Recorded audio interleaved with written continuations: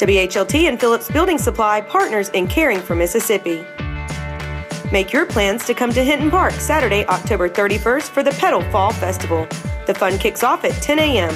There'll be tons of activities for the whole family food, arts and crafts, a children's village, car show, and awesome entertainment. For more information, call 601 545 1776. WHLT and Phillips Building Supply partners in caring for Mississippi.